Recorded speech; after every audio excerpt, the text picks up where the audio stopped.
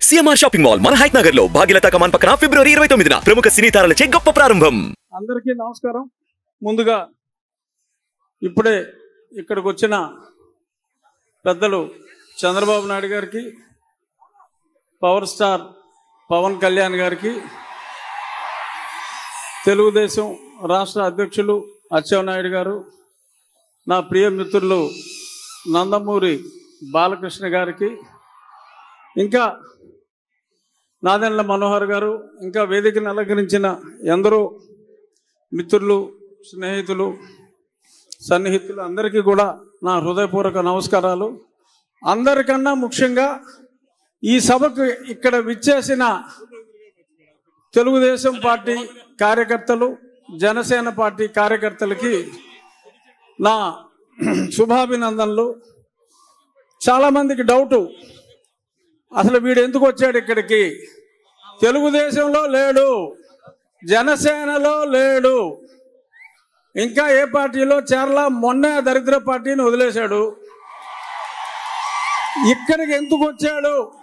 అంటే నేను ఇంకా ఏ పార్టీలో ఇంకా చేరినప్పటికీ ఇక్కడ జరుగుతున్నది ఒక సైకాసురుణ్ణి దింపటం కోసం ప్రజాస్వామ్యాన్ని పరిరక్షించడం కోసం ఇద్దరు గొప్ప నాయకులు తమ ఇగోలన్నీ పక్కన పెట్టి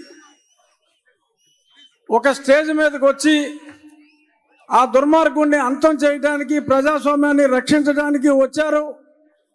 ఒక ప్రజాస్వామ్య రక్షకులు ఒక స్టేజ్ మీద ఉన్నప్పుడు వారికి అభినందనలు తెలియజేయడానికి పైగా ఇది నా నియోజకవర్గం కాబట్టి అందుకని నేను ఇంకా ఏ పార్టీలో చేరకపోయినా ఇక్కడ ఉన్నా. ఇప్పుడు కృష్ణార్జునులాగా చంద్రబాబు నాయుడు గారు పవన్ కళ్యాణ్ గారు ఆల్రెడీ కలిశారు. నేను రెండు సంవత్సరాలుగా చెప్తున్నా అందరూ కాదన్నా ఎంతోమంది అది ఎలా కుదురుతుందన్నా కూడా ఖచ్చితంగా ఒక దుర్మార్గుని అంతం చేయాలంటే బ్రహ్మ విష్ణు మహేశ్వరులే కలిశారు. వీళ్ళు కలవాలి అన్నా వీరిద్దరూ ఇప్పుడు కలిశారు. అతి త్వరలో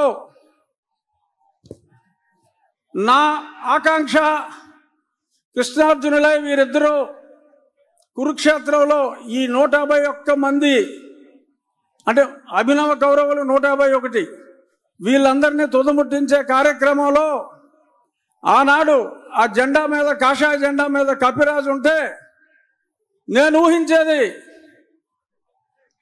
నరేంద్ర మోడీ గారిని తప్పకుండా పవన్ కళ్యాణ్ గారు అహర్నిశలు మొన్నే చెప్పారు తిట్లు తిన్నా నేను వదిలేది లేదు అని.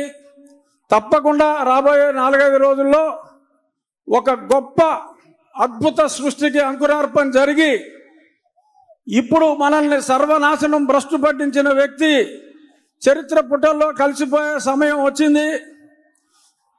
నేను రోజు మిమ్మల్ని ఒక గంట సేపు వాయించేస్తున్నా రచ్చబండల పేరు చెప్పి. ఆ చెప్పినవన్నీ కాకుండా మనకి అమరావతిని సర్వనాశనం చేసిన ముఖ్యమంత్రి మూడు క్యాపిటల్స్ అన్నాడు ఏది అడ్రస్ లేదు. సరే మొన్న ఫ్లోటింగ్ బ్రిడ్జ్ చేస్తే అది పోయింది. కుప్పానికి నీళ్ళు ఇచ్చాడంటే అది వినోదం సినిమాలో ఊటీటీ బ్యాంక్ లాగా అలా గేట్ పెట్టి మళ్ళీ పట్టుపోయారు అంతా మోసం దగా. రాజధాని లేని ఈ రాష్ట్రానికి ఈ ముఖ్యమంత్రి తీసుకొచ్చిన ఒక ఘనత ఏంటంటే ఆంధ్రప్రదేశ్ని ఒక క్యాపిటల్ చేశాడు. దేనికిరా అంటే డ్రగ్ క్యాపిటల్ ఆఫ్ ఇండియా చేశాడు. ఎక్కడ ట్రక్ దొరికినా అది ఆంధ్రప్రదేశ్ నుంచే బయలుదేరుతుంది. డ్రగ్స్ దొరికితే మరి ఇక్కడ కాకినాడ పోర్టుకు వచ్చి ఎవరో ఆషికి ట్రేడింగ్ అని దానికి చేసేసన్నీ కూడా మనం చూసాం. డ్రగ్ ఆంధ్రప్రదేశ్ని రాజధానిగా చేశారు తప్ప ఈయన చేసిన అభివృద్ధి ఏమాత్రం లేదు. మహిళలు తాలిబొట్లు తెగిపోతున్నాయి. పటా పటా పటా పటా. ఆ చెత్త మందు తాగి అరవై రూపాయల మందు రెండు వందల రూపాయలు ఇచ్చినట్టే ఇచ్చి మీ జేబులు గుల్ల చేస్తున్నాడు. చెప్పుకుంటే శతకోటి. అది ఎలాగో పెద్దలు.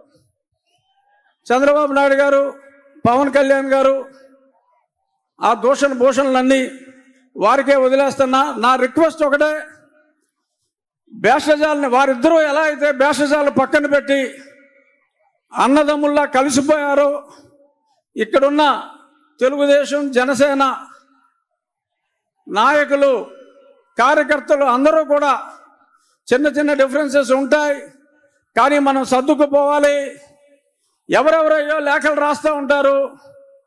ఆ లేఖల్ని పట్టించుకోవద్దు. వారిద్దరూ ఎంత అన్యోన్యంగా ఉన్నారో మనం అందరం కూడా నేను తొందరలో మీ దగ్గరికి వచ్చేస్తా. ఎప్పుడు మా ఈ సాక్షి పేపర్లో ఇంట్లో రాస్తూ ఉంటారు. ఏ ఊరికనే ఈయన ఆయన టికెట్ ఇవ్వడు ఈయన టికెట్ ఇవ్వడు అటు పని అవుట్ అని మాట్లాడుతూ ఉంటారు. వాళ్ళిద్దరు ఎదురుగుండానే చెప్తున్నా. మళ్ళీ నరసాపురంలో ఇదే కూటమి నుంచి నేను పోటీ చేస్తున్నా.